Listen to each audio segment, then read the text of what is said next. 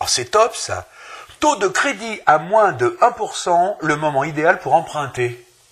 Eh, c'est top ça.